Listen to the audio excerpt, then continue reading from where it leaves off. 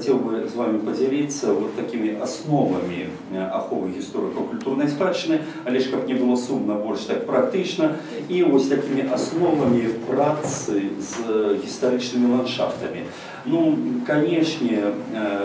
я хочу сказать, что вот до гэтага часу шмат все гаворыць пра ахову спадчыны пра яе неабходнасць мы заўсёды стаім на такой пазіцыі размовы пра неабходнасць захавання аховы спадчыны неабходна ўжо спыняць Таму што пра ахову спадчыны гаворыцца не адзін десятак год зараз нават лянівы не ведае што спадчыну трэба ахоўваць зараз э, распрацавана заканадаўства ў галіне аховы спадчыны зараз вызначана дзяржаўная палітыка ў галіне аховы спадчыны ёсць толькі адзін момант на жаль заканадаўства у галіне аховы спадчыны практычна не працуе як гаворыцца ёсць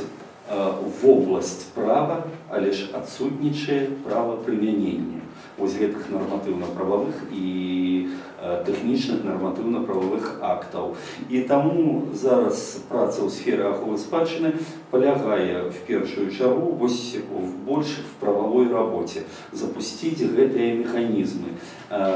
збалансаваць правапрымяненне у гэтай галіне. І разумееце, канешне, гэта справа в першую чаргу дзяржаўная, але ж грамадскасць можа ўплываць на гэтыя працэсы і грамадскасць павінна ўплываць на гэтыя працэсы працэсы і яна нават не павінна ад гэтага ўхіляцца каб вы ведалі адзін з артыкулаў нашай канстытуцыі наколькі я памятаю чацверты артыкул ну не памятаю дакладна нумар ён абавязвае кожнага грамадзяніна клапаціцца пра гісторыку культурную спадчыну Рэспублікі Беларусь так што гэта не толькі нашае права права на удзел в ахове спадчыны сфармулявана в четвертым артыкуле закона об ахове гісторыка-культурнай спадчыны а в канстытуцыі сфармуляваны наши абавязкі ў гэтай галіне што мы можем рабіць як грамадскасць вот сапраўды вельмі часта калі вы сочыце і за публікацыямі все падымаецца пытанне нішчацца гістарычныя будынкі нішчацца гістарычныя будынкі там знішчаны фальварак там знішчаны напрыклад флігель там знішчаны напрыклад старадаўні бровар там знішчана старадаўняя ў горадзе забудова практычна ўсе гэтыя выпадкі якія ў нас адбываюцца гэта тычацца сапраўды гістарычных будынкаў але ж я паўтараю гістарычных будынкаў а не гісторыка-культурных каштоўнасцяў потому что ёсць гістарычны будынак і як гаворыцца органы ўлады ничто не прымушае зрабіць з ім все что можна зрабіць потому что права гэта дазваляе зрабіць потому что будынак не мае ніякага юрыдычнага статуса калі гістарычны будынак атрымлівае ўжо статус гісторыка-культурнай каштоўнасці то ўжо ён фармальна знаходзіцца пад аховай дзяржавы і нават у нас у простых грамадзян з'яўляюцца в руках прававыя механізмы да абароны гэтага будынка і таму на дадзены момант калі гаварыць дзяржаўны спіс гісторыка-культурных каштоўнасцяў гэта дакумент які зацверджаны пастановай савета міністраў Рэспублікі Беларусь дакумент, які не з'яўляецца канстантай,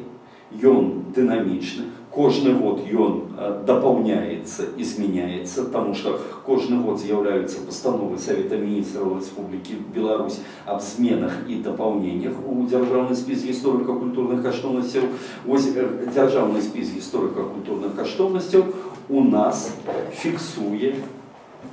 амаль 5 тысяч нерухомых матэрыяльных аб'ектаў, якія з'яўляюцца помнікамі. Але ж гэта далёка не ўсё архітэктура.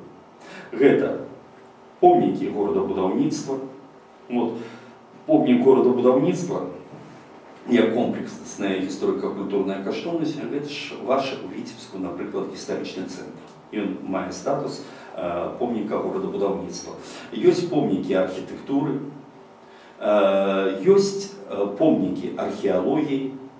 Дарэчы, помнікаў археалогіі у нас досыць багата ў дзяржаўным спісе і, мабыць, звыш 30 адсоткаў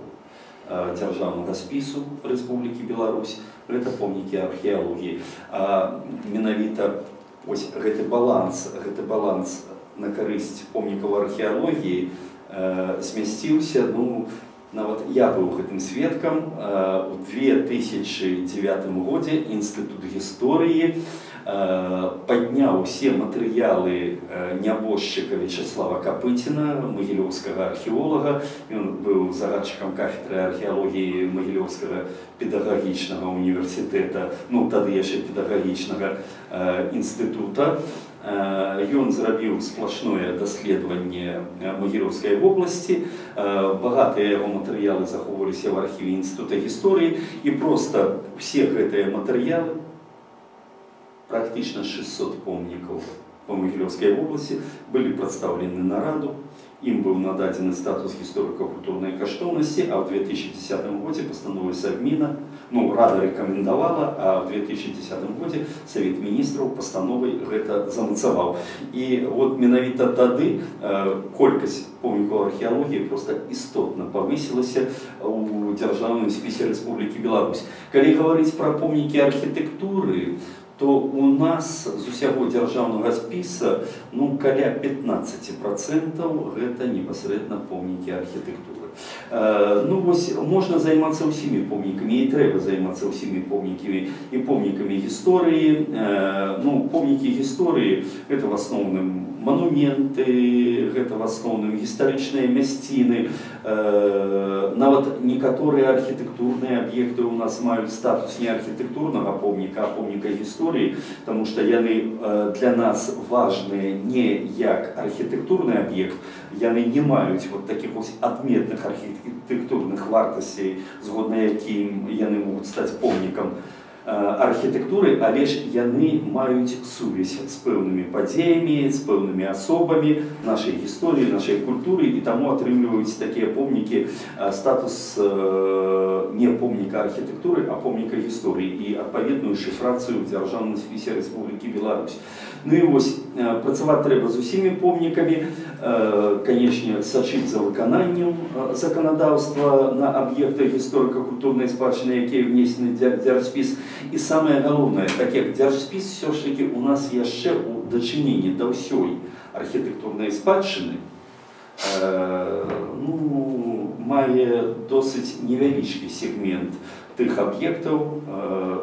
якія ахоўваюцца дзяржавай. Я вот могу сказаць, Э, толькі по наших таких досыць умоўных падліках літаральна з усіх крыніц на тэрыторыі беларусі каля 6 тысячаў аб'ектаў якія вартыя надання статуса гісторыка-культурнай каштоўнасці менавіта як помнікі архітэктуры і горадабудаўніцтва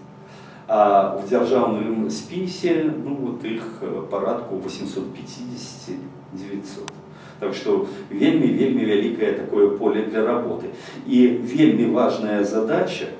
гэта э,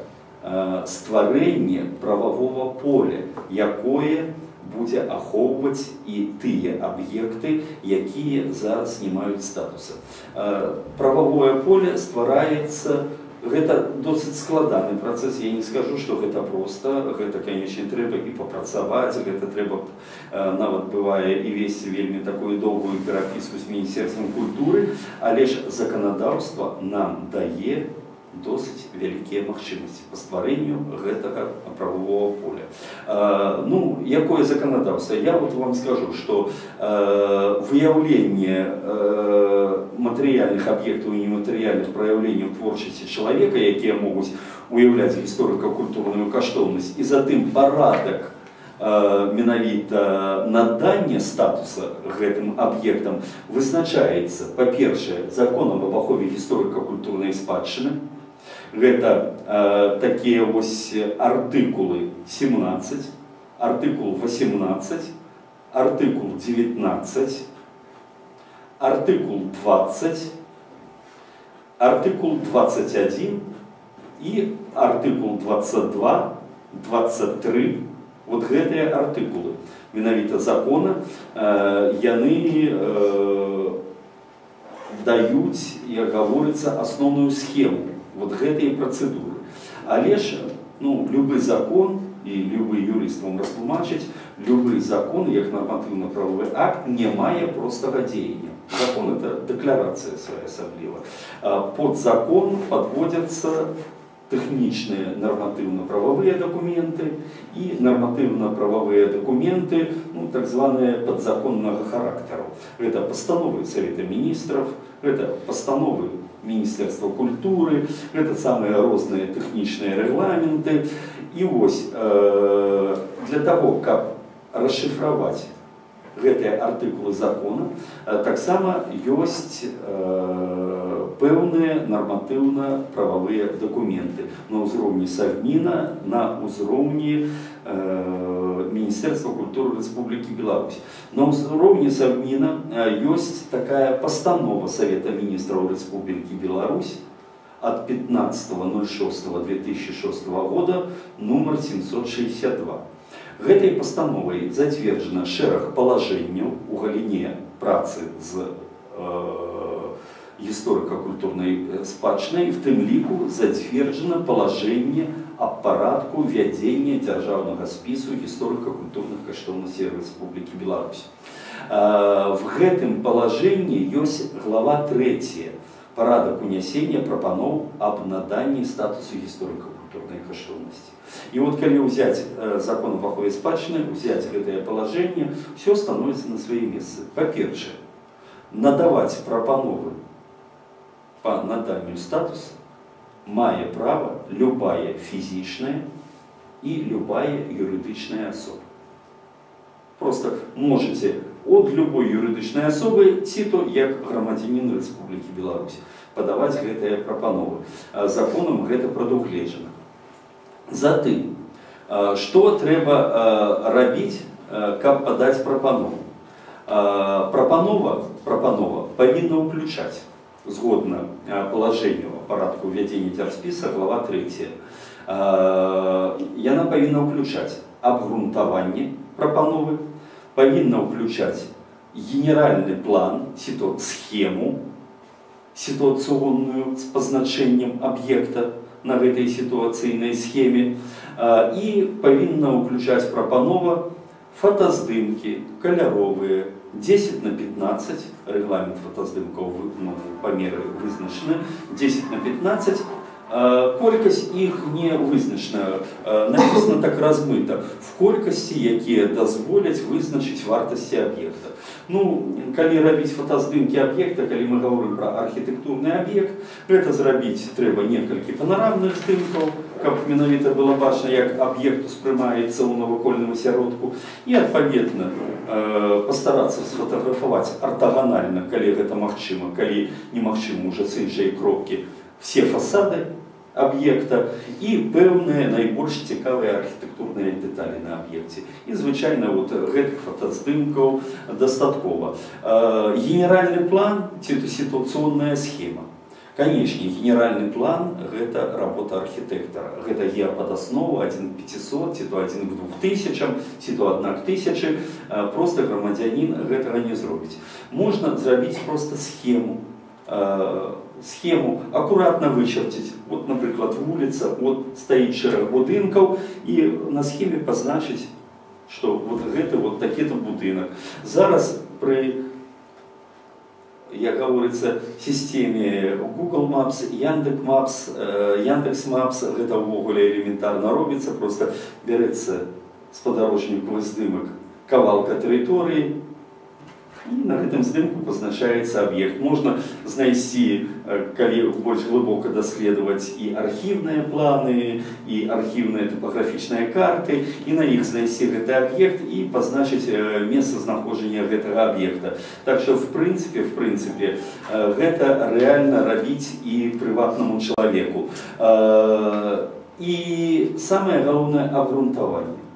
В абгрунтаванне павінны уваходзіць звесткі аб э, месцазнаходжанні аб'екта, затым э, апісанне э, і мастацкая ацэнка аб'екта, э, затым э, ну, звесткі, гістарычныя звесткі пра гэты аб'ект і абавязкова павінна быць э, назва объекта, Потому что згодна вашей прапановы калі яна станоўча разглядаецца гэтая назва і фіксуецца в дзяржаўным спісе і гэта дарэчы немалаважна як назваць аб'ект потому что до гэтага часу вот в 2007 годзе як быў сфармаваны дзяржспіс э, ну, основа дзяржспіса зараз ён папаўняецца вельмі часто э, аб'екты туды включаются ну я бы сказал с такими назвами якія потым пераглядаюцца карэктуюцца гэта лішняя работа потым ідзе па карэктароўкі назваў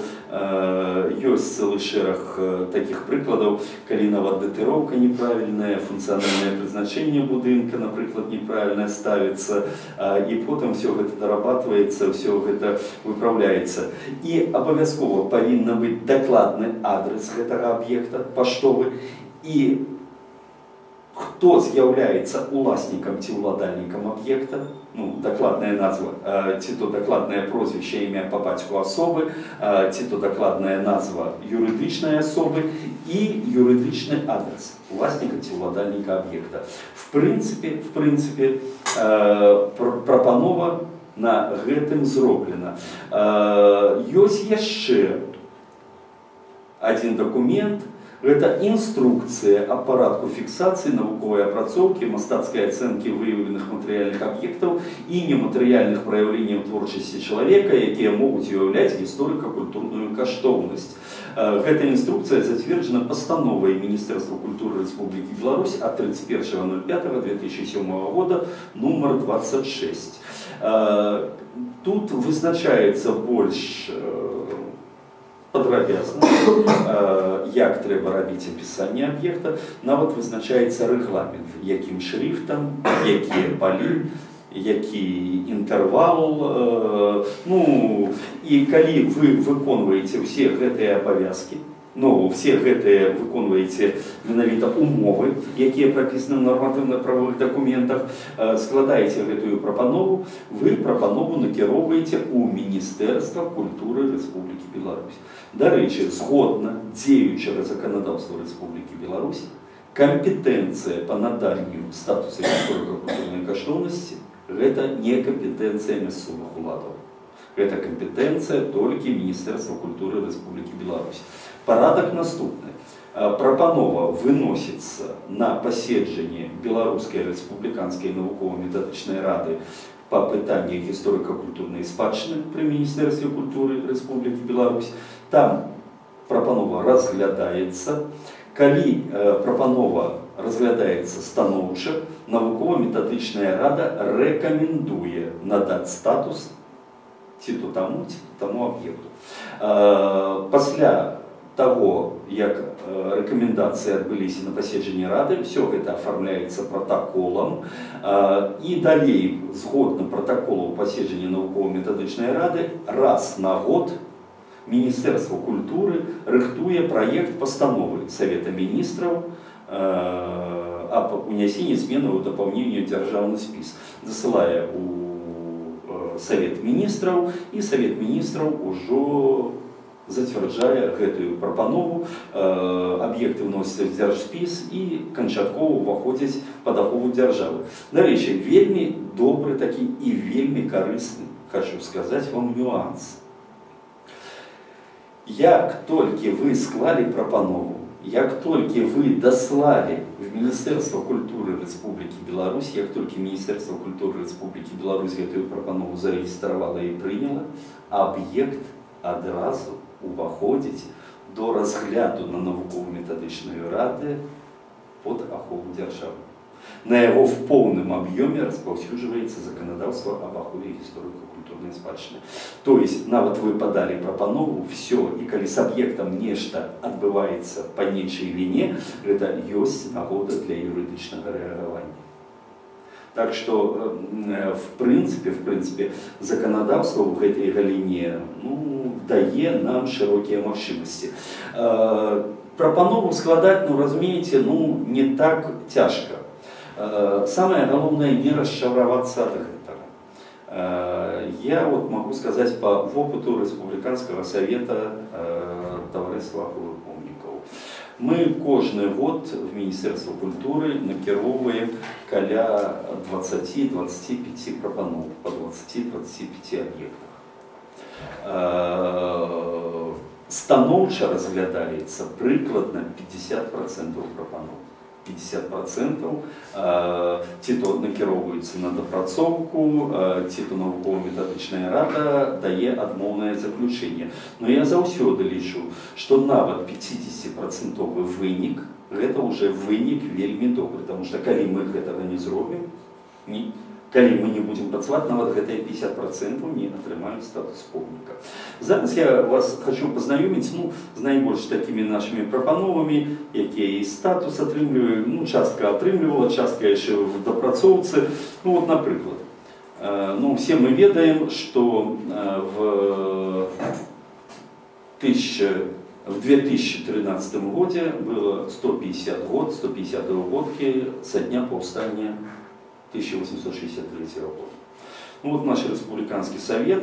э, у Мінску там ствараліся розныя кансультатыўныя саветы па святкаванню гэтай даты сярод недзяржаўных аб'яднанняў нас паўсюль запрашалі мы не в адзін э, я гаворыцца такую структуру не ўвайшлі калектыўную потому что э, не хацелася губляць час на просто пустыя размовы мы вырашылі отзначить 150 годки повстания, я говорится по-своему, конкретной справой. Мы подрыхтовали три пропановы от Республиканского совета, и одна пропанова была подрыхтована одним нашим активистом у городе Горки, Могилевской области. Это вот пропанова Косова, Косова могила паўстанцаў на рыма-каталіцкіх могілках, якая была вот ушанавана вот таким вот крыжом, гранітным гэтая мемарыялізацыя у косаве на могілках адбылася в 1933 годзе калі былі 60 годкі паўстання ну і тады на тэрыторыі заходняй беларусі якая была ў складзе міжваеннай Польши у складзе другой рэчы паспалітай польскія ўлады ушаноўвалі ўсе мясціны, якія звязаны з паўстанцамі. Вось гэты крыж быў пастаўлены в 1933 годзе, магіла была добраўпарадкавана, але ж статуса не мела. Мы склалі прапанову на статус. Гэта вот фотофіксацыя, гэта вось ну, мы зрабілі вот такую вот привязку да мясцовасці. Мы взяли э, выкопировку мапы э, двухверстки э, российского генштаба 70-х годов 19 столетия. Вот позначили там, где могилки находятся. Мы взяли топографичную мапу польского генштаба э, 1930, 1932 э, года. Так само позначили э, территорию, где находятся могилки. Вот взяли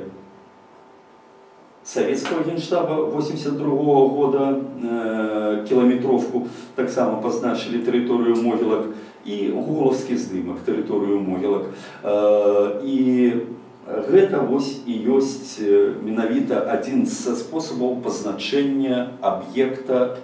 менавіта на схеме ці то як э, названа в генеральным плане вот таким вот чынам гэта зроблена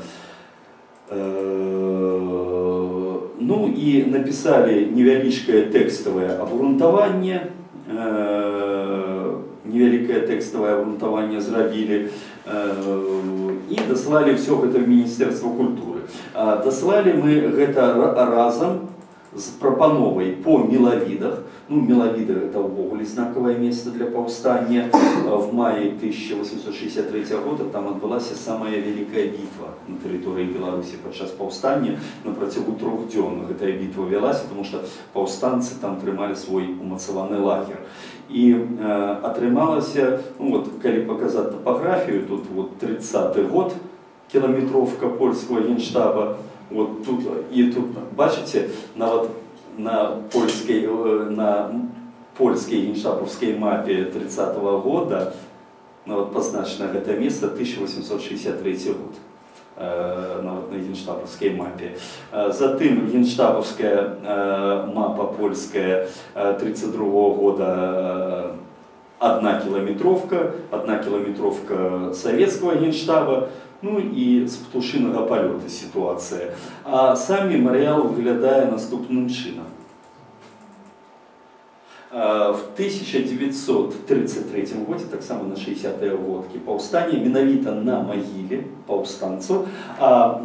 лагер гэты знаходзіўся роўненька на шашы старой варшавкі, якія зараз называюць гэта Москва-Варшава, шаша адна з першых шасіраваных дарог расійскай імперіі, якая ідзе з Москвы на Смоленск, на Рослаў, на Прапойск, на Рагачоў, на Бабруйск, на Слуцк, і далей са слуцка туды старыя дарогі кобрын і вось там знаходзяцца мелавіды і паўстанцы менавіта трымалі гэтую шашу яны нездарма зрабілі умацаваны лагеры яны перакрывалі стратэгічны аб'ект для расійскай імперыі і вот бітва там была па адзін бок шашы пахаваны паўстанцы 33 годзе польская ўлада пастаўлены вот там такая класічная каплічка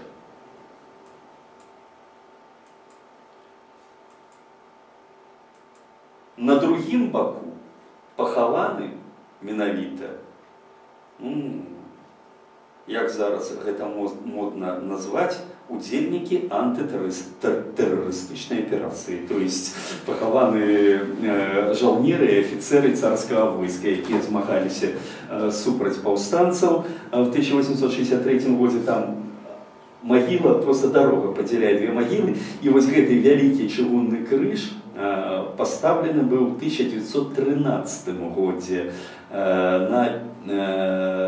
50-е угодкі паўстання царскай уладай перад першай сусветнай вайной і мы вырашылі мы вырашылі што трэба падаваць ансамблева таму што сапраўды это вельмі сімвалічна праз дарогу две брацкія магілы зямля памірыла і паўстанцаў зямля памірыла і удзельнікаў карніцкіх войскаў і мы падалі вось гэты менавіта ансамблева ось э,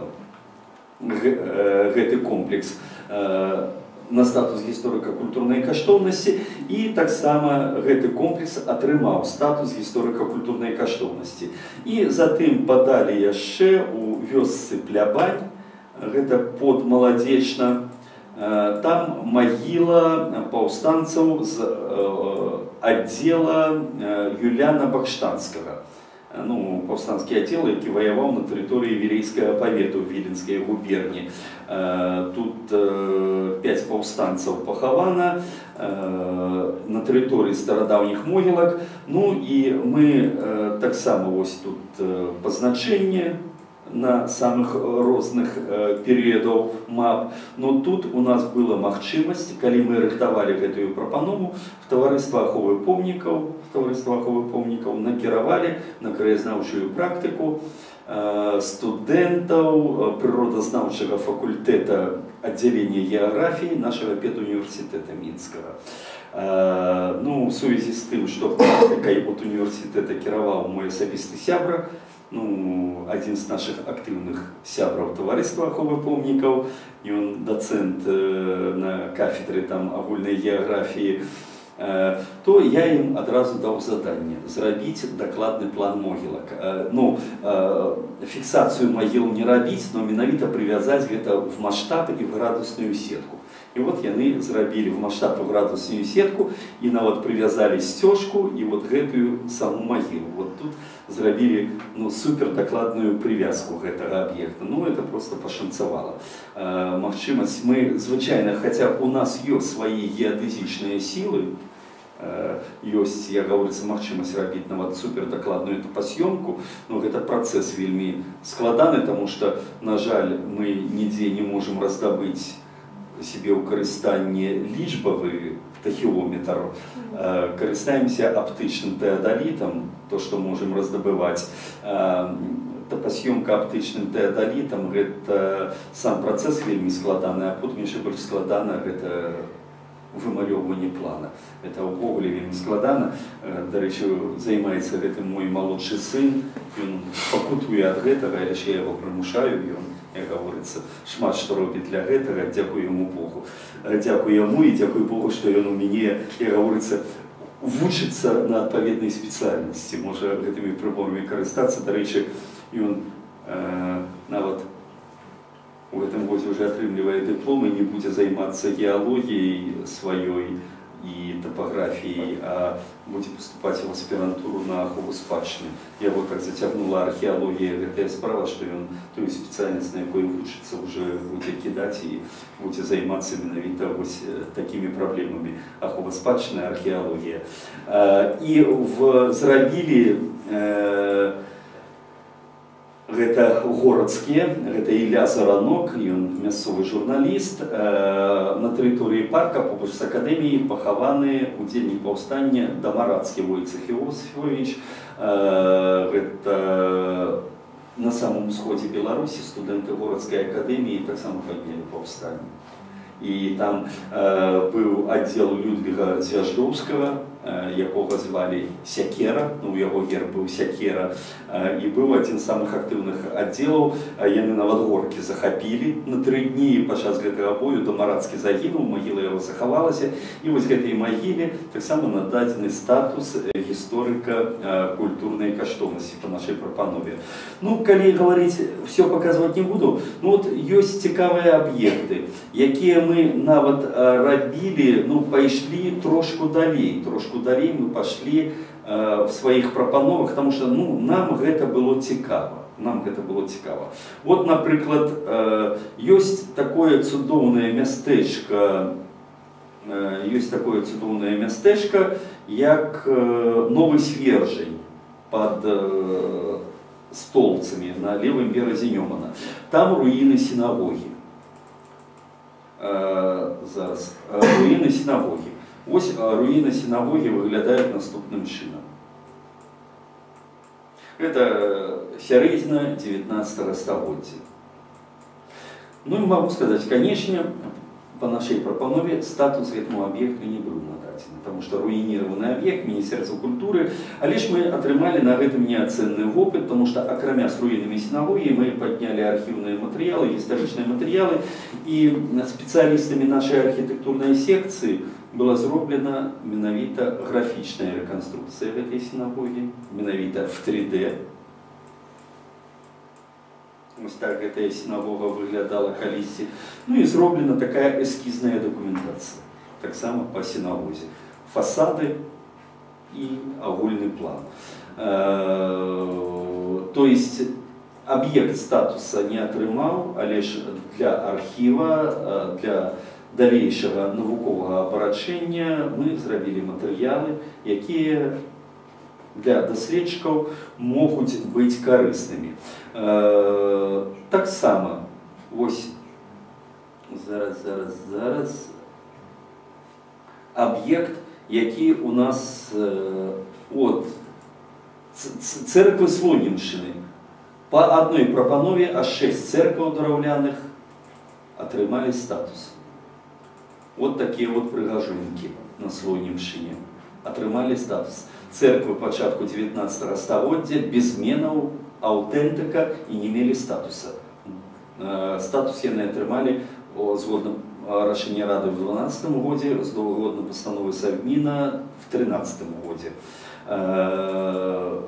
таким чынам мы просто ну зрабілі юрыдычныя падставы, каб гэтыя аб'екты не перабудоўваліся. І все яны знаходзяцца адна недалёка ад другой і што нават дазваляе вызначаць асобную школу традыцыйнага дойлідства царкоўнага вот, слонімскага рэгіёна у пачатку 19 стагоддзя, Таму што вы бачыце стылёва яны практычна ўсе аднолькавыя гэтыя церквы.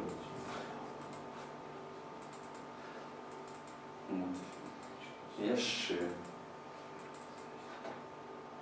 практычна ўсе яны аднолькавыя церквы целая рэгіянальная школа дарэчы в мінулым годзе у гэтым рэгіёне мы адкрылі яшчэ чатыры царквы пра якія я не ведаў менавіта ў гэтым рэгіёне вот неўзабаве будзем таксама рабіць э, прапанову а і толькі одна царква выбивается своим головным фасадом и конструкцией, это церква старых Девятковича, там, где сполучено мураванное дойлідство и зрубное дойлідство, шулы мураванные, мураваны портик, а вот уже закладные детали стенок, это уже э, драўляныя брусы. таксама пачатак 19 стагоддзя але ж царква там дзе вельмі моцна сказалася сказаўся уплыў прафесійнага дойлідства уплыў класіцызма на народнае дойлідства так что в прынцыпе вот на гэтых прыкладах на гэтых прыкладах э, можна гаварыць что ну цалкам можна працаваць з гэтым Самае галоўнае сапраўды варта прытрымлівацца тых дакументаў якія вызначаюць форму прапановы і самае галоўнае ніколі не трэба адчайвацца калі міністэрства культуры прысылае вам ліст што вашая прапанова не адпавядае вызначаным крытэрыям яе трэба дапрацоўваць трэба связывацца з міністэрствам культуры вот там заўсёды ёсць контактны телефон выканаўцы ліста трэба вызначаць што як заўсёды яны ідуць на сустрач на рэкамендацыю я просто рэкамендую гэта рабіць вам тому что напрыклад я поступаю трошку по-іншаму калі мне такое прыходзіць я гэта аспрэчваю спасылаючыся на 19 артыкул закона об ахове спадчыны які прадугледжвае что ёсць два спосаба выяўлення гісторыка-культурных каштоўнасцяў гэта прафесійнае выяўленне па даручэнню міністэрства культуры і выпадковае выяўленне так калі вот просто грамадзянин па вашай ўсё згодна 19 артыкула пры выпадковым выяўленні чалавек павінен просто паведаміць міністэрства культуры пісьмова пра аб'ект а далей міністэрства культуры павінна ініцыяваць само складання прапановы. Э, ну вось і э, калі э, мне прыходзіць вот такое адмоўнае заключение, што ваша прапанова не адпавядае, я заўсёды пішу в генпракуратуру і в савмін скаргу. Звычайна я гэта аспрэчваю. Звычайна пасля гэтых скаргаў мне тэлефануе начальнік управлення па ахове гісторыка-культурнай спадчыны запрашае, мы пачынаем дамаўляцца ўжо, як гаворыцца, як два мафіозі в кабінеце дамаўляемся. У гэтым годзе Ігор Мефодзевич ну, трошки на мяне пакрыўджаны, тому што в мінулым годзе мы ініцыявалі супраць міністерства культуры судовы працэс, суд, суд для чыноўніка это заўсёды непрыемна на нас пакрыўжаны ён трошки зацяўся і хоць абскарджванне пайшло все роўна дамовіцца і мы зараз рыхтуем я буду менавіта судзіцца ну вопыт я гаворыцца я не ведаю чаму на мяне крыўдзіцца міністэрства культуры ці то пэўныя выканаўчыя органы калі я распачынаю судовыя працэсы ці то маі паплечнікі распачынаюць па помніках судовыя працэсы я заўсёды говорю что вырашэнне пытанняў пра суд гэта цалкам нармальна гэта цывілізаваны шлях развязвання спрэчных пытанняў і калі мы не можем просто дамовіцца паміж сабой і не можем вызначыць нейкія агульныя пазіцыі для чаго суды і створаны для чаго і створаны грамадзянскі працэсуальны кодекс і грамадзянскі кодекс менавіта для гэтых ну я вам гэта не раю тому что мы гэтым займаемся бо у нас ёсць яшчэ цэлы шэраг прафесійных юрыстаў якія нас не падтрымліваюць гаворыцца ну а працаваўшы уже столькі год у гэтай галіне уже і сам становішся юрыстам а, калі вы займаетесь гэтай справай вам трэба шукаць кампрамісы з міністэрствам культуры а, тому что в прынцыпе в прынцыпе вот что что э, я заўсёды гавару вельмі шмат хто лае наших чыноўнікаў я заўсёды гавару чыноўнікаў не трэба лаяць у чыноўнікаў трэба вучыцца Таму што у чыноўнікаў трэба вучыцца карыстацца нарматыўна-правовой базай і яе трактаваць. Гэта неацэнная школа. Таму што калі менавіта непадрыхтаванаму пачаць з пэўным чыноўнікам спрэчку па пэўнаму юрыдычнаму пытанню, чыноўнік заўсёды выйграе. Таму што ён заўсёды працуе з нарматыўна-правовой базай. Ён заўсёды вас перайграе, таму што звычайна грамадзяне працуюць на эмоцыях а чыноўнік працуе з непасрэдным юрыдычным матэрыялам. Таму абавязкова э, калі вы адчуваеце, што юрыдычнай падрыхтоўкі няма, ну, трэба старацца шукаць кампрамісы і трэба дамовіцца. Это шлях канструктыўны будзе, шлях выйгрышны, шлях канфліктны можна рабіць, калі вы адчуваеце за сабой сілу. Ну гэта караценька пра э, менавіта ахову спадчыны. Зараз я хочу сказаць вам наступную такую галіну. Ну гэта тычыцца і непасрэдна вот самога віцебска. Э, гэта вельмі важныя такія пытанні гэта працы з культурнымі ландшафтамі і працы непасрэдна з пэўнымі аб'ектамі э, ну мабыць ну вы яшчэ маладыя і падыміце руку хто памятае горад віцебск калі яшчэ не быў адноўлены успенскі сабор калі не была адноўлена добравешчынка калі не была адноўлена рынкавая царква кто памятает? Ну, я памятаю цудоўна. Да. А вот зараз параўнайце вот тое ўражанне і сучаснае ўражанне, калі вось усяго толькі тры аб'екта адноўлены.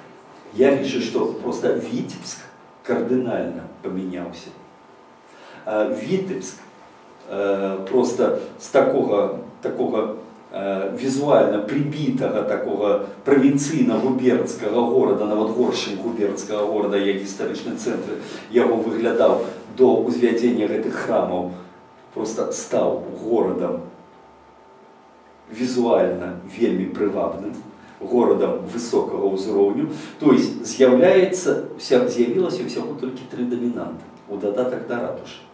горад зусім па-іншаму загуляў візуальна. Э, вот гэта называется адзін з прыкладаў працы з ландшафтам. Э, то есть вельмі грамотна навукова абрунтавана аднавілі аб'екты. Все горад зусім па-іншаму э, выглядае. Зараз, дарэчы, горад Віцебск перажывае, я б сказаў, пэўны пераломны момант. Вы в курсе ці не, што вот літаральна літаральна Э, все уже экспозиция мабыць скончылася у вас праходзіць абмеркаванне генеральнага плана вашага горада з 23 лютага і по-мойму по учорашні дзень уключна э, в отделе архитектуры была экспозиция схемы генерального плана до 23 сакавіка можно подавать письмовые заўвагі и прапановы по генеральному плану э,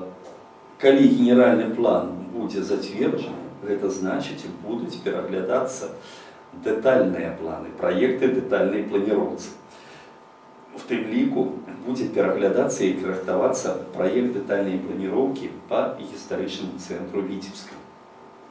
і таму гранічна важна ведаць вот прынцыпы працы на тэрыторыі гістарычных цэнтраў тому что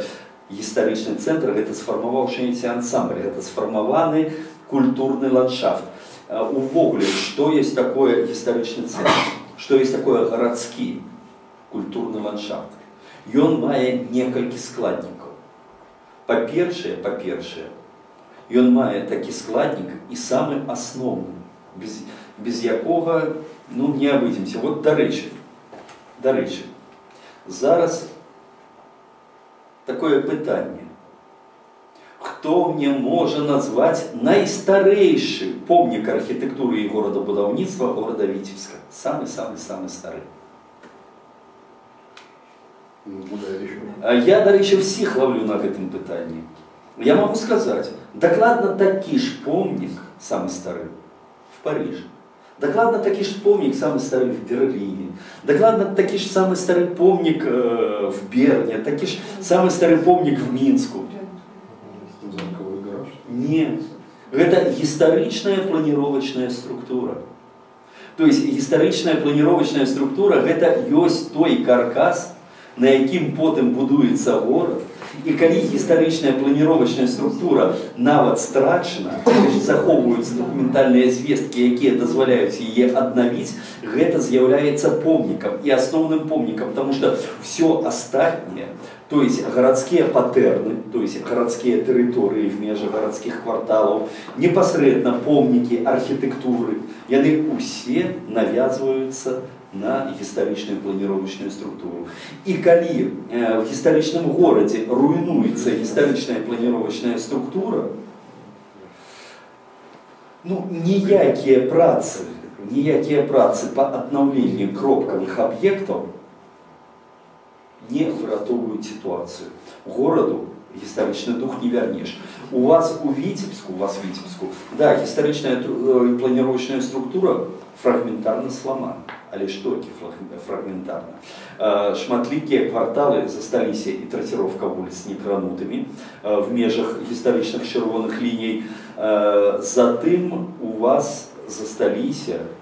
досыць вялікія лакуны, там дзе калісьці прысутнічала высокашчыльная гарадская забудова, ну але ж яна была знішчана. Часткова пашкоджана падчас другой сусветнай вайны, часткова была знішчана, як адзін з маіх любимых выразаў нямецка-фашысцкімі акупантамі в 60-е 70-е гады 20 стагоддзя, потому што у нас вельмі часта до гэтага часу любяць знішчэнне помнікаў спісваць на нямецка-фашысцкіх акупантаў, а пачынаеш разбірацца іх то в 50-х, то в 60-х, а то и в 70-х годах гэтыя помнікі просто-напросто познішчалі. Ну, вот як у вас Добровещенку в 60-х годах, это целый анекдот был, як яе э, спачатку по, по ініцыятыве гарадскіх абласных уладаў вывели з-пад аховай дзяржавы, зруйнавалі, а потым руінам зноўку надалі статус помніка. Э, такая ситуация подобная была у Минску. Э, Доминиканский костел, ён яшчэ да вайны меў статус помніка. Ён э, быў пашкоджаны, пашкоджаны быў в 1943 годзе падчас савецкай бомбардзіроўкі Мінска. Э, пашкоджаны. Э, в 1946 годзе, нягледзячы на тое, што гэта было пашкоджанне савецкай авіяцыяй, э, за пашкоджаны помнік, за гэты помнік з немцаў злупілі рэпарацыю. А в 1951 годзе, нават не, вы, не пазбавіўшы статуса помніка і злупіўшы з немцаў рэпарацыю, яго проста за адну ноч разбурылі. Э, такая ситуация. Э, ну, таких ситуаций у нас э, вельми, вельми много, и я вот заўсёды говорю, что у нас вельми часто, вельми часто ствараецца летний культ особы и миф про вашего земляка з Віцішні Петра Машерова, які вельми моцна падтрымліваў беларускую культуру. Э, унікальнейшыя помнікі 18 стагоддзя, э, такія як полацкі езуіцкі касцёл, фашчаўскі езуіцкі касцёл былі знішчаны менавіта па асабістаму распараджэнню Машэрава. Э, мы заўсёды так жартуем, мы жартуем так, што 1980 году Машеров разбился, это была провокация аховых помнікаў. Это наш жарт, а чаму? Оказывается, это докладно, это подтверждается документально, мы знайшли отповедные документы. Э, разумеете, у Машерове, у Машерова уже на столе лежал пакет документов на подпись о полном знішчэнні ўсяго гістарычнага центра Мінска і менавіта вось гэтая автокатастрофа перашкодзіла ему гэта падпісаць. Добра, ну вот я хочу процягнуцца ну на жаль сталася так сталася так что мы э, вось так вот на такі вот узровень э, со своими специалистами ну, нашему грамадскому аб'яднанню вельмі пашанцавала тым что в конце 2009 года наш склад прыйшлі вельмі цудоўныя маладыя талентавітыя архітэктары і дызайнеры вельмі я б сказаў цудоўныя спецыялісты у э, сферы працы з гісторыка-культурнымі каштоўнасцямі і з 2010 года мы распачалі працу по шэрагу аб'ектаў разам з імі утварылі архітэктурную секцыю і тое што з 2010 года мы пачалі супрацоўнічаць ну, у нас в беларусі ёсць таксама грамадскае аб'яднанне беларускае аддзяленне камос ну, міжнародны камітэт аховай спадчыны гістарычных мясцін аховы помнікаў гістарычных мясцін і э, пры ікамус ёсць праектнае бюро там дзе таксама цудоўныя спецыялісты асабліва кіраўнік праектнага бюро ігар раханскі ён хоць не архітэктар а фізік па адукацыі ён калісьці в нашай беларэстаўрацыі узначальваў лабараторыю фізіка-хімічных даследаванняў ну ён просто як мы яго называем цудоўны крэатыўшчык ён просто і канцэптуаліст ён наражае просто суперскія ідэі што в дачыненні архітэктурных рашэнняў што ў дачыненні дызайнерскіх рашэнняў што ў дачыненні нават экспазіцыйных музейных рашэнняў потому что мы разам працуем не толькі на горадабудаўнічых аб'ектах робім распрацоўкі архітэктурных аб'ектах вот зараз мы супольна праектнае бюро і камосы выступае генеральным праектам проектировщиком э, по э, консервации, э, частковой реставрации и доброупорядку, доброупорядкованию Гальшанского замка, а мы как партнеры з імі працуем у гэтай галіне але ж мы распрацоўвалі цэлы шэраг таких вось і музейных рашэнняў вот музей вашмянах рээкспазіцыю мы рабілі зараз мы і нам вельмі падабаецца гэта оказывается вельмі цікавая тэма нам заказаў наш мінскі трактарны завод экспазіцыю канцэпцыю экспазіцыі а пазней будзе і праект экспазіцыі менавіта трактарнага завода музея трактарнага завода як мы заўсёды жартуем самае вялікае наше дасягненне мы для аднаго менскага прыватнага калекцыянера распрацавалі ўвогуле унікальную экспазіцыю музей у шафе звычайная шафа открываешь а там экспозиция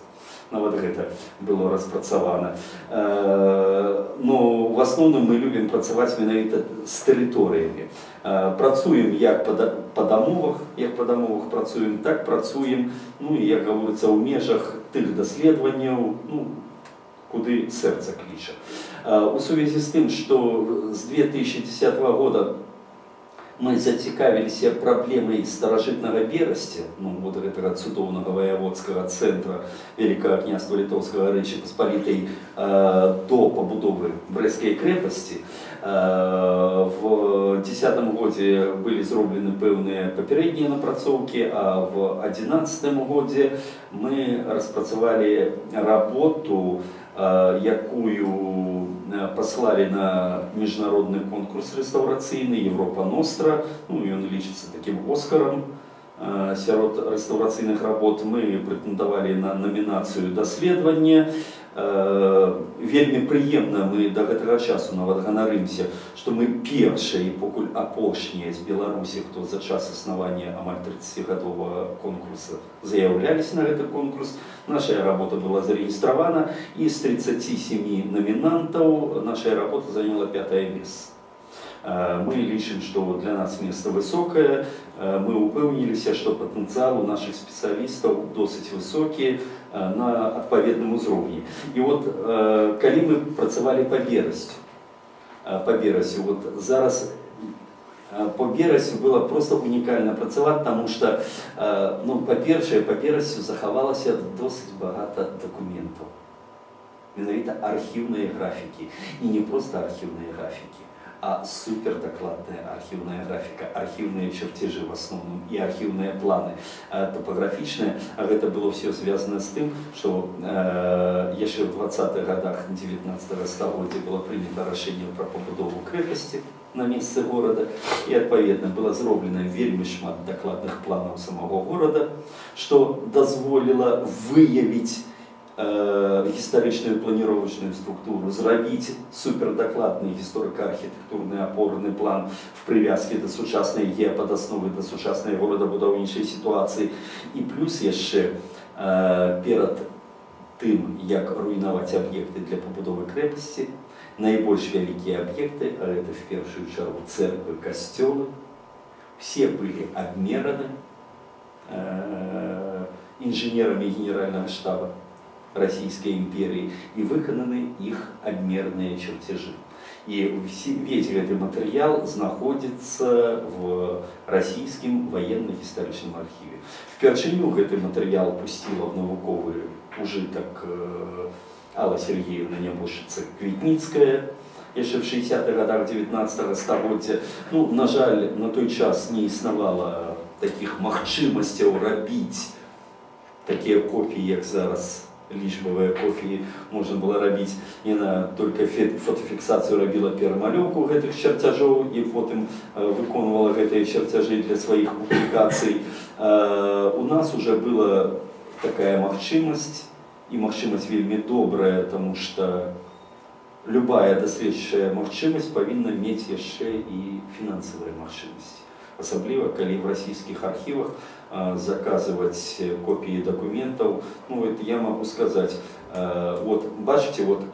нижний, нижний чертеж. Нижний чертеж. Это раз, два, три, четыре, пять, шесть. Это 6 форматок А3, это 12 форматок, 12 форматок А4. Кошт сканирования в Российском военно-историческом архиве форматка А4 это 30 долларов. Вот подлечите. 360 долларов скан только одного документа. А, а у нас была и финансовая магчымасць, потому что в городе Москве жыве человек, які валодае амаль 15% пакета акций Лукойла. Каренны Брыщук, уроженец Бреста, он вырос, и школу Бреста, потом лёс его в Москву закинул. Владимир Микулик. Мы с ним вельмі цудоўна кантактуем. Ён расійскія даследаванні падтрымлівае вельмі добра матэрыяльны. Ён п'еты да свайго горада мая. Ён нават в 13 годзе ініцыяваў распрацоўку канцэпцыі ревіталізацыі тэрыторыі брэскай крэпасці. Нашыя спецыялісты і я асабіста таксама працаваў у гэтым праекце это проект э, Брест 2019 э, концепцию распрацоўвалі по э, под кіраўніцтвам аднаго з вядучых метадолагаў у гэтай галіне у Европе аўстрыяка Дітера Богнера ну папярэднія нашыя работы можа і заклалі падмурак гэтай ідэі Э, то, что Микулик э, соспел э, вот уже до распрацоўки пэўнай концепции. А в межах своей конкурсной работы что мы сделали? Мы в первую чаргу, мы в первую чаргу выявили, выявили вот Паглядзіце, гэта э, менавіта гістарычная планіровачная структура Брэста, выяўленая э, на конец 18 на пачатак 19 стагоддзя і от чырвоненькім пазначаны размешчанне размешчанне найбольш знакавых культавых аб'ектаў это комплексы монастыроў ну, комплексы кляштараў касцёлаў церкваў ну, і вот тут вот гэта берасцейская сінагога гэта увогуле унікальны аб'ект пра яе можна цэлую адзін то і две размаўляць наколькі гэты аб'ект унікальны ну гэта сітуацыя менавіта сучасная гэта менавіта план брэйскай крэпасці гэта то што э, зараз гэтая тэрыторыя уяўляе ну правда гэта э, менавіта часы расійскай імперіі таму што шматлікія пабудовы яшчэ часоў расійскай імперіі на тэрыторыі крэпасці не захавались вот гэта ўжо дакладна сучасная сітуацыя там 19 стагоддзя гэта сучасная сітуацыя вось так гэтая тэрыторыя выглядае зараз гэта сумяшчэнне сумяшчэнне усіх сітуацый от і сучаснай і колісь існуючай сітуацыі праведзены быў аналіз планіровачны і далей мы пашлі шляхам ужо рэканструкцыі таго рэльефа і рэканструкцыі менавіта аб'ектаў Э, графічная рэканструкцыя аб'ектаў дакладная рэканструкцыя графічная аб'ектаў была выканана менавіта на падставе адмернай дакументацыі э, калі на некаторыя аб'екты у нас не было праектнай дакументацыі то мы просто-напросто гэтыя аб'екты рабілі гіпатэтычную рэканструкцыю вот вы бачыце вот гэтыя беленькія гэта гіпатэтычная рэканструкцыя по фрагментарным звесткам э, гэта недакладная рэканструкцыя Э, ну, ось тут вы можете поглядеть э, уже реконструкции места размещения объектов. Это э, мужчинские бернардыны, ось гэта зверху езуиты, гэта августинский костел и кляштар, гэта тринитарский костел и кляштар, гэта доминиканский костел и кляштар, гэта базильянский костел и кляштар. До речі, навазрабілі падчас гэтай работы навуковае адкрыццё оказывается базыльянскі касцёл і кляштар на тэрыторыі брест гістарычнага бреста на востраве менавіта паміж двумя рукавамі мухаўца і буга ён адзін в адзін по аднаму праекту зроблены мы яго зараз можем пабачыць толькі в талачыне в Толочине докладно такі ж касцёлы кляштар по, по такому ж проекту зроблены в памерах супадае ну, разбежка плюс-мінус 5-6 сантиметров всего это просто будаўнічыя пагрэшнасці проект один і той же гэта жаночыя бернардыны гэта менавіта брыгіцкі касцёл і кляшар ну гэта пайшлі агульныя панарамы и э, вышли на историко-архитектурный опорный план. Там, где на існуючую горадабудаўнічую ситуацию наклали историчную планировочную структуру и зрабілі анализ что можно обновлять, что можно позначать э, просто сродками добраўладкавання заходзячы с існуючай горадабудаўнічай ситуации, потому что например, в Бресте э, гучалі такія ідэі што крэпасць пабудавана за часамі расійскай імперыі Таму яе поўнасцю трэба зруйнаваць як сімвал расійскага імперыялізма і адбудаваць старадаўнія берасці. Мы рэзка супраць такіх падыходаў, потому што помнік любой эпохі з'яўляецца помнікам сваёй эпохі. Брэйская крэпасць з'яўляецца унікальным помнікам фортыфікацыйнай архітэктуры 19 стагоддзя. Тым больш брэйская крэпасць унікальна чым. Гэта адзіная бастыённая крэпасць на тэрыторыі Европы, якая не забудована не крепостными объектами. То есть практически все крепости мают забудову, э, ті то там уже жилые ансамбли пошли, ті то інше. Вот, наприклад, э, Бобруйська крепость наватвали зруйнована. Толькі фрагментарна мураваная фортыфікацыя засталася. Калі ўзяць крэпасць у Модліне, на тэрыторыі двух бастыённых умацаванняў уже паўсталі жылыя катэджныя кварталы. Калі ўзяць, напрыклад, бастыённую крэпасць у Даўгавпілсе ў Двінску, то там пасля другой сусветнай вайны всю вот там бастыённая крэпасць, а внутри валов цалкам плотненько забудованы домами офицерского склада Динабургского советского гарнизона. Вся территория крепости. Структура оборонных валов бастионов заховалась, все заховалось, а вот территория крепости забудована менавіта в 60-х, 70-х годах 20-го стагоддзя. Брестская крепость, ну, сапраўды унікальна. Тым больш, э, ну, як можна, як можна э, разглядаць руйнаванне мемарыялу мемарыял можна разглядаць як некаторыя лічаць яго вельмі таким неудалым с мастацкім вырашэннем все але ж гэта склаўшыся аб'ект это таксама гістарычная памяць і таму калі падыходзіць до рэгенерацыі гістарычнай тэрыторыі до рэгенерацыі культурного ландшафта трэба улічваць все слои все каштоўныя слоі на тэрыторыі брэскай крэпасці гэта і старадаўнія берасе гэта і самі э, крепостныя фортыфікацыйныя пабудовы гэта менавіта тэрыторыя мемарыяла і пабудовы мемарыяла вот гэтыя тры каштоўныя слоі на тэрыторыі брэскай крэпасці в прынцыпе можна спалучыць і мы выйшлі з такой вот прапановай по аднаўленню что в прынцыпе можна обновить два ансамбля, кляш, э, два ансамбля кляштарных на тэрыторыі валынскага ўмацавання э, жаночыя і мужчынскія кляштары бернардынскія можна на коб... заходняя частка кобрынскага ўмацавання обновить э, в межах былога прадмесця пескі гэта брыгіцкі касёл кляштар і мануфактуру Тызенгауза Антонія, якая ў 19 стагоддзі выкарыстоўвалася як астрог, як турма. але ж будынак 18 стагоддзя это вот магчыма аднавіць пры поўнай рэстаўрацыі брыгіцкага моста 19 стагоддзя а брыгіцкі мост 19 стагоддзя гэта пад'ёмны мост менавіта мухавеч ж быў суднаходны каралеўскі канал днепроўскі канал ён жа актыўна выкарыстоўваўся ў 19 стагоддзі і менавіта по гэтаму рукаву мухаўца праходзілі судны і адпаведна для праходу мачтавых суднаў трэба было мець развадны мост і гэта менавіта развадны мост і можна аднавіць можна аднавіць і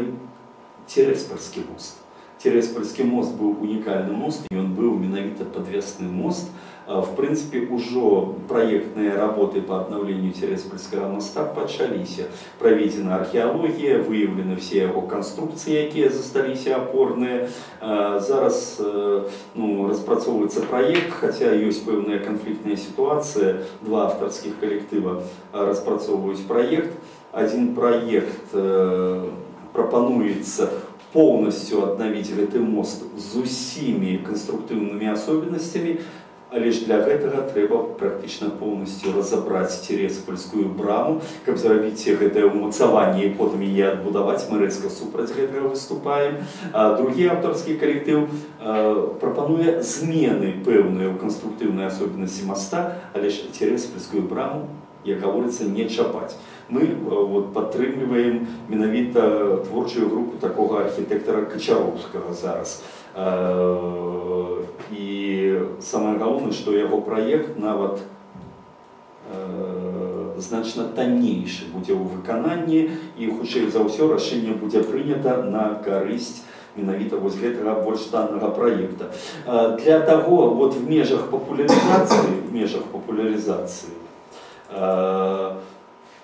было зроблена яшчэ нами шэраг вот таких вот як мы іх жартам называем а зараз антивірус праверыць файлік ён заўсёды на круцёўкі у мне правярае файліка зараз мы зрабілі такія панарамныя панарамныя вельмі цікавыя файлікі там дзе можна вот, можна практычна полностью ну, атрымаць уяўленне ад тых помнікаў, якія страчныя ў брэсце. Вот гэта базыльяне, вось гэта э, гіпатэтычная рэканструкцыя мікольскай царквы там, дзе унія верасцейская была заключана. А гэта унутраняя прастора, унутраняя прастора езуіцкага калегіума, а вось гэта езуіцкі касцёл, езуіцкі касцёл. Э, ну в прынцыпе в прынцыпе э, ну, гэта ўжо сугуба такі папулярызацыйны крок але ж яго таксама варта рабіць э, у сувязі з тым што ну, неад'емнай часткай працы з насельніцтвам гэта ёсць папулярызацыя вот такія панарамныя файлікі яны сапраўды вельмі вельмі вельмі цудоўна працуюць шмат мы працавалі па мінску Дарэчы, па мінску нават адна з нашых работ была адзначана адзначана на международном конкурсе Леонардо в 2011 году мы заняли в номинации «Реставрация, регенерация и обновление историко-культурной спадщины» проект первое место. Ну, ну, вот это наши узнагороды, э, мы э, просто распрацавалі эскізны праект аднаўлення правага боку вуліцы гандлёвай у мінску э, гэтыя кварталы былі знішчаны ў 60 годах 20 стагоддзя затым у межах прац по гістарычнаму цэнтру горада пачаліся праектныя працы мы выступілі са сваей прапановай ну, яна была высока ацэнена на міжнародным узроўні вот гэта ну, вот, праектныя матэрыялы якія мы выставлялі на конкурс але ж на жаль на жаль гэты праект не рэалізаваўся в прынцыпе яго станоўча ацэніў заказчык работ мінская спадчына і ўжо в прынцыпе павінна была распрацоўвацца працоўная дакументацыя по гэтаму праекту лишь вы ж ведаеце 11 год финансовый кризис. в гарадскім бюджэце не стае хранічна сродкаў і гэтую пляцовачку распілавалі паміж трымя інвестарамі инвесторы там реализовали ну, полную ахинею. Это такую ахинею на нават чем ваша марковская пирамида. Атрымалася в, в гэтым унікальным квартале. Але все роўна ў мінску ёсць пэўныя тэрыторыі і з гэтымі тэрыторыямі мы таксама працуем. Ну вот, напрыклад, ёсць яшчэ не забудавана тэрыторыя мінскіх рынкаў мы зрабілі праектную прапанову якая в прынцыпе нармальна ацэнена ну, вот гэта прэзентацыя гэтай прапановы гэта сутык вуліцы немігі і свіслачы у нас там стаіць такія трудовыя резервы працоўныя резервы такі спорткомплекс яшчэ 50 гадоў 20 стагоддзя але ж гэтая пляцоўка згодна пдп новому мінска зараз вывучэнне до 18 -го года э, пасля 18 -го года прыняцце рашэння па рэгенерацыі гэтай тэрыторыі мы прапанавалі вось такі вось праект гарвыканкаму аднавіць на канец 19 стагоддзя э, планіровачную структуру і забудову гэтага квартала там дзе вы бачыце просто белыя кубікі там дзе вы бачыце белыя кубікі гэта просто няма архіўных справаў на гэтыя аб'екты і мы іх просто-напросто калі рабілі прэзентацыю у нас не было дакладнага іканаграфічнага матэрыяла мы іх выяўлялі белымі кубікамі для прыняцця пазнейшых рашэнняй праектных па ім пазней в дванадцатым годзе мы распрацавалі ну, зрабілі вялікае абгрунтаванне праекта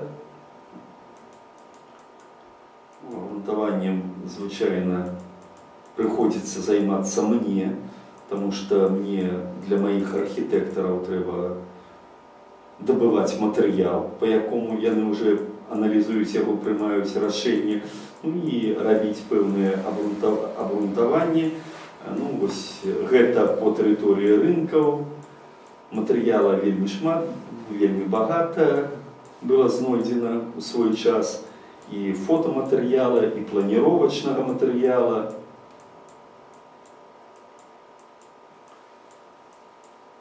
Было знойдзена вельмі шмат і архіўнага матэрыяла па праектах практычна ўсіх дамоў. У нас ввогуле э, я лічу горад Мінск унікальны горад. Э, Мабыць, яму пашанцавала і толькі э, яшчэ гродна мае ось такі патэнцыял. В мінску і в Гродно, у Гродно в нацыянальным гістарычным архіве горада які ў горадзе Гродна і в мінску в нацыянальным гістарычным архіве, які ў горадзе мінску захаваліся практычна ўсе праектныя справы, якія праходзілі праз гарадскія ўправы. Зараз калі па мінску сабраць усе праектныя справы, можна поўнасцю зрабіць дакладнейшую рэканструкцыю горада мінска на 1910 год. Вот уявіць сабе, якое гэта багацце. Віцебску не пашанцавала з гэтым. З гэтым не пашанцавала Могілёву. Калі ўзяць берасці, то берасцю пашанцавала толькі ў 20-30 гады 20 стагоддзя, тому што в поўным аб'ёме э, захаваўся архіў э, міжваеннага перыяда горада будаўнічага. Ну вот мінску увогуле я здзіўляюся як гэтыя архівы перажылі другую сусветную войну потому что архівы з мінска не былі эвакуяваны і на всю акупацыю былі ў мінску вот уявіце сабе і яны захаваліся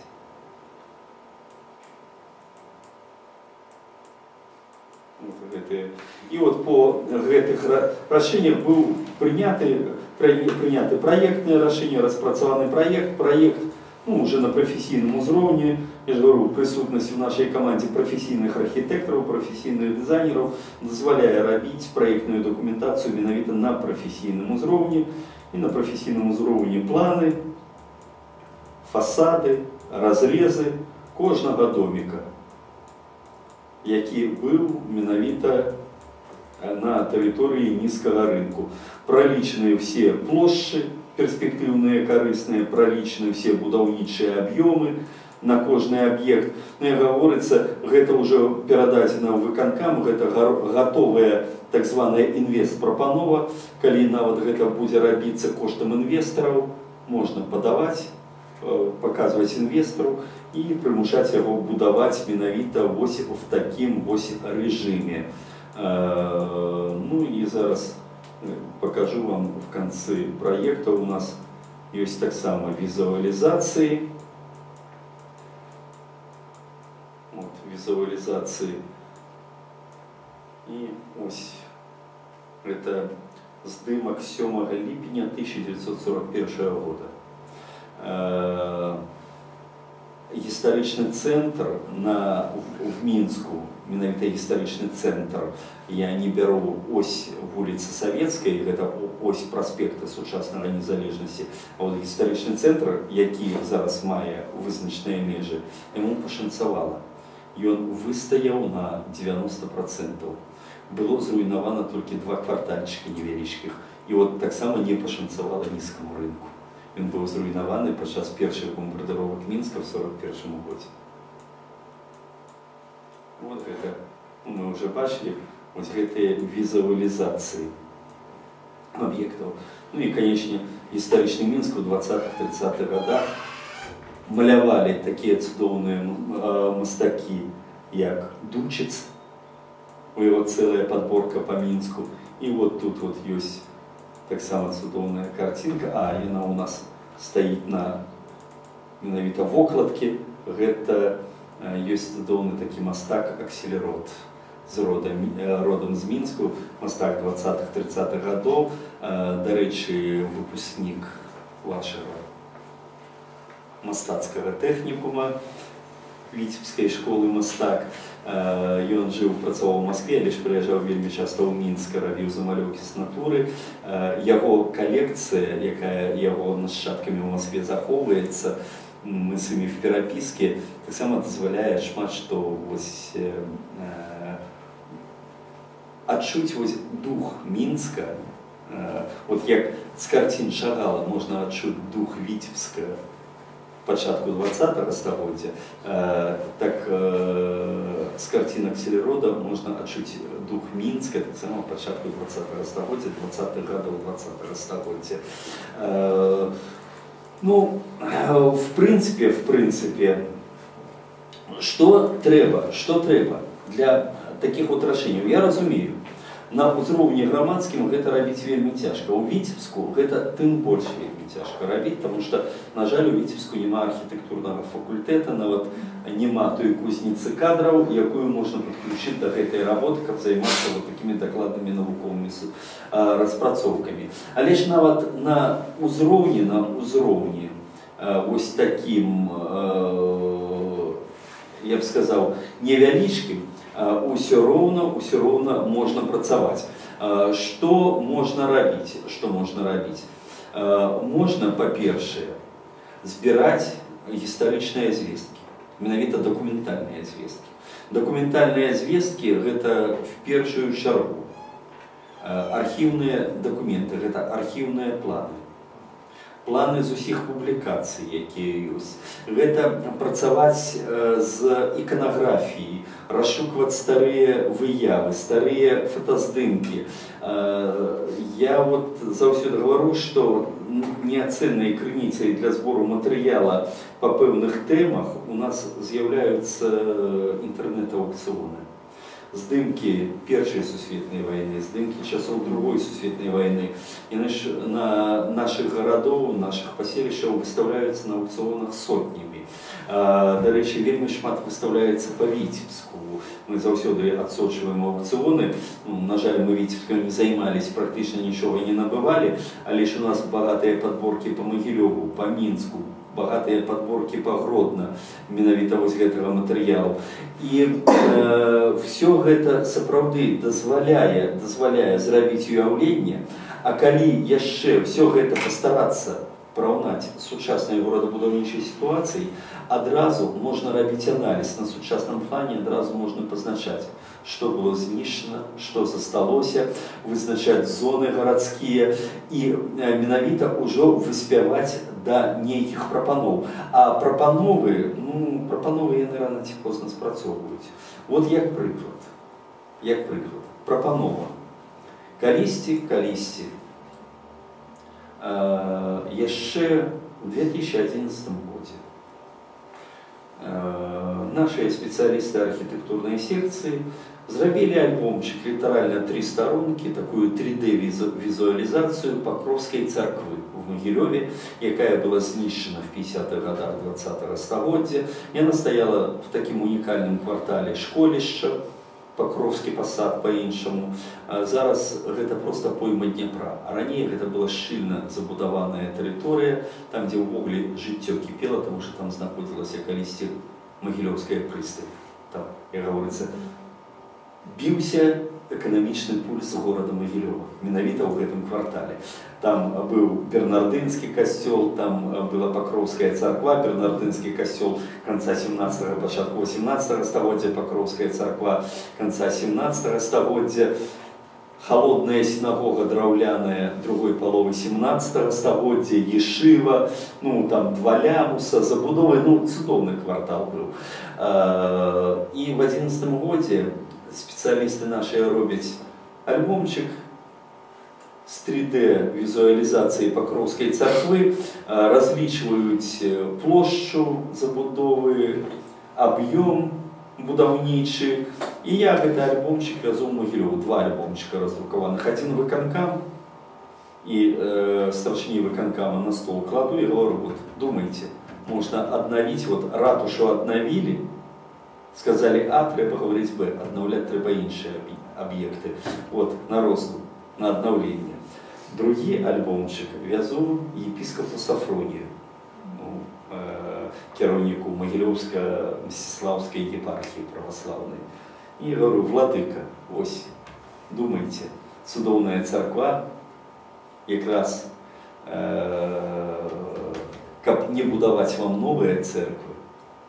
трэба пераходзіць да аднаўлення старых а ёсць мажлівасці аднаўлення старых церкваў магілёве навукова абрунтаваных і навошта вам будаваць новыя церквы три года прайшло саспель процесс в минулом годе был запущен обновление этой церкви нас запросили нас запросили распрацоўваць менавіта э, зрабіць архіўна-бібліяграфічнае даследаванне і распрацаваць эскізны проект по этой церкви падчас эскізнага праекта увогуле ну вот пакровская гэта царква яна выглядала таким чынам вот, можна наблізіць у э, пачатку у канцы 19 стагоддзя яна была перабудавана з 1863-1869 год это праца по капітальнаму ремонту і по перабудове царквы эта царква адразу пасля перабудовы яна зафіксавана Дмітрием струкавым ну мабыць ведаеце такого даследчыка русского санкт-петербурга ён зрабіў э, в 60-х і 70-х годах 19 стагоддзя некалькі экспедыцый по беларусі дарэчы вельмі шмат замалёўку яго по віцебску ну гады тры таму назад э, выйшаў у продаж альбом ён нават да гэтага часу не ведаю як у віцебску ў мінску прадаецца да гэтага часу в продажы ёсць таму што ён просто ну, як толькі ён выйшаў ён тры гады таму назад ён просто каштаваў атамных грошай 1 мільён Э, величезный альбом, э, менавіта яго факсімільнае выданне всех яго замалёвак. Э, вот гэта замалёўка, як выглядала гэтая царква на, пасля перабудовы. Нам была поставлена задача выявіць, як гэтая царква выглядала увогуле до перабудовы. І вывучыўшы все асаблівасці Э, Могилевской школы дойлідства, менавіта магілёўскага барокка, э, выявіўшы і прааналізаваўшы ну, менавіта іканаграфію усіх архітэктурных дэталяў э, гэтай царквы, а пасля другой сусветнай вайны фрагментарныя фотафіксацыі гэтага аб'екта, праводзіліся вось таким цудоўным нашим беларускім даследчыкам михаилом кацарам ну, шмат хто михаила кацара зараз атаясамляе толькі з беларускім арнаментам потому что літаральна за два гады да смерти кацара ён паспеў выпусціць вось такі вось вялікі ёмкі труд беларускі народны арнамент там дзе сапраўды гэта энцыклапедыя арнамента там дзе тлумачэнне дадзена кожнаму сімвалу арнаментальнаму але ж сам михаил кацар Ён орнаментом займаўся так просто так як пабочнай дзейнасцю як ён просто так як пабочнай дзейнасцю займаўся мастацтвазнаўцам у галіне выяўленча гэта мастацтва ўсё просто гэта яго цікавіла а асноўная яго работа асноўная яго кола прафесійных зацікаўленасцяў гэта архітэктура і доктарская нават яго дысертацыя якую ён абараніў 1952 годзе дарэчы я просто здзіўляюсь як в 1952 годзе калі яшчэ быў жывы сталін калі э, яшчэ любая праява беларускага нацыяналізма буржуаснага строга каралась як кацару удалося абараніць гэтую дысертацыю у яго тэма дысертацыі беларуская архітэктура сярэдзіны 16 конца 18 стагоддзя разумееце дысертацыя я просто некалькі год тому назад э, з ёй знаёміўся ну, просто унікальная унікальная менавіта там дзе выяўлена ну, наша нацыянальная архітэктурная школа і вельмі вельмі цудоўна э, прааналізавана у нас жа ж э, ось э, пасля вайны Правда, яна нідзе не публікавалася. Гэта як дысертацыйнае даследаванне так нікуды і не разышлося. А так шырока пасля другой сусветнай вайны архітэктурай нам дазволілі у нас дазволілі займацца толькі в 60-х годах 20 стагоддзя толькі аднаму чалавеку гісторыі архітэктуры і публікавацца шырока. Гэта Владимир Чантурій. І то, таму што ён мігрел і яго цяжка было заподозрить в праявах беларускага нацыяналізму і вот менавіта чантурія закладае асновы сучаснай гісторыі архітэктуры 70-х годах уже вырастае целая плеяда новых спецыялістаў гэта тая ж тамара габрусь петросова і чарнявская і кулагин і уже к 80-м годам у нас сапраўды вымалёўваецца школа гісторыкаў архітэктуры вельмі добрая тым больш в 70-х годах у нас активно закладаются подмурки реставрационной школы. А реставрация это не только архитектура. Реставрация это ж даследование и калі сібела реставрация мела величезный отдел комплексных навуковых вышуканняў, які складаўся з вялікага колу гісторыкаў архітэктуры, вялікага колу мастацтвазнаўцаў, цэлых два, якіх два якіх два раз два три сектора археалогіі было паўстала археалогія архітэктуры як галіна якая зараз сканала наш інстытут гісторыі на мяжы 90-х гадоў і 21 стагоддзя канчаткова забіў такую галіну як археалогія архітэктуры а ўсе спецыялісты якія займаліся археалогіяй архітэктуры яны з гэтага бізнеса вымушаны былі сысці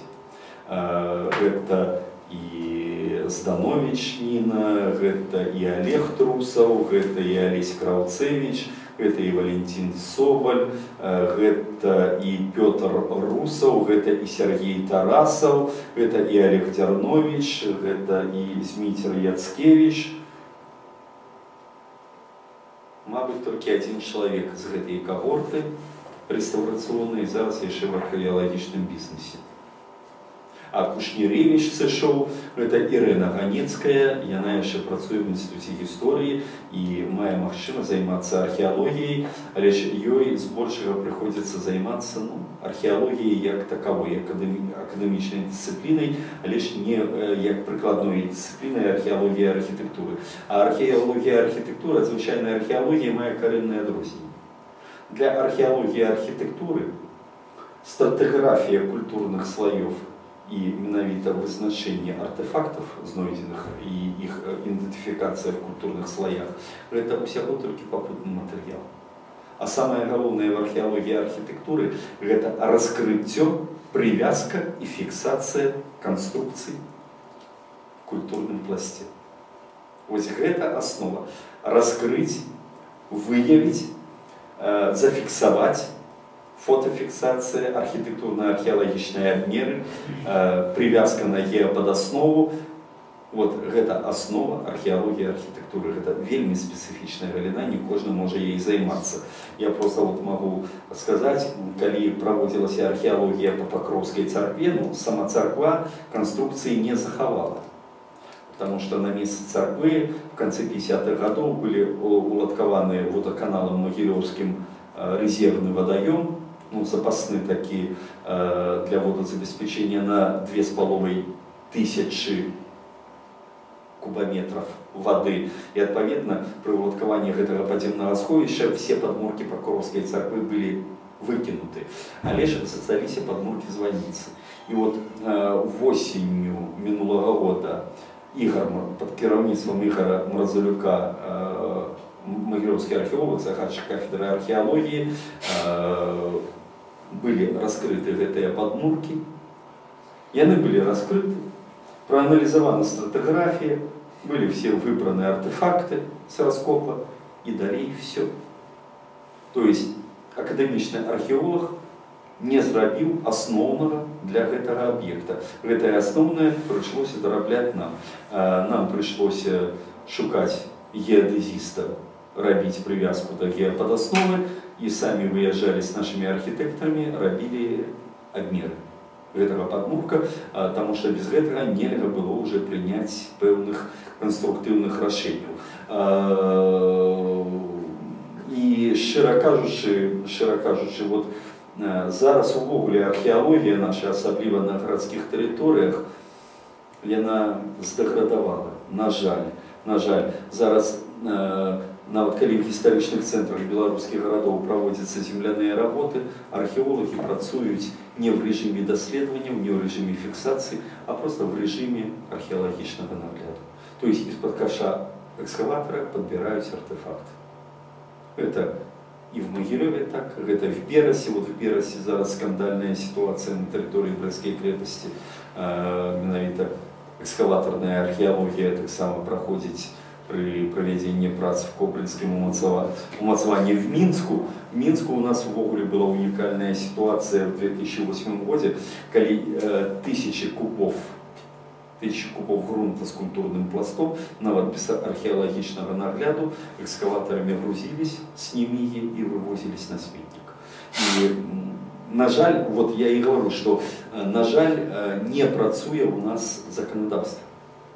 У, э, сферы аховай спадчыны а не працуе по простой прычыне что яшчэ оно недапрацавана то есть заканадаўчая гэтая прастора правовая прастора не запомнена до конца подзаконными норматыўнымі актамі і тэхнічнымі норматыўнымі актамі і існуе вельмі шмат вот таких вот дзюраў якія дазваляюць гэтае заканадаўства абыходзіць все любите абысці гэтае заканадаўства тому что ну тады прасцей жыць і эканоміцца фінансавыя сродкі ось і ўсё ну тады вяртаемся до пакроўскай царквы ну по пакроўскай царкве вот нами быў распрацаваны прафесійны праект ну гэта тэрыторыя зменнага участка размешчання царквы это план гэтай царквы это план верхняга яруса царквы гэта разрез і самое галоўнае мы выйшлі анализом вот гэтых фрагментаў якія былі зафіксаваны кацерам і аналізам э, аналагічных аб'ектаў мы выйшлі на выгляд гэтай царквы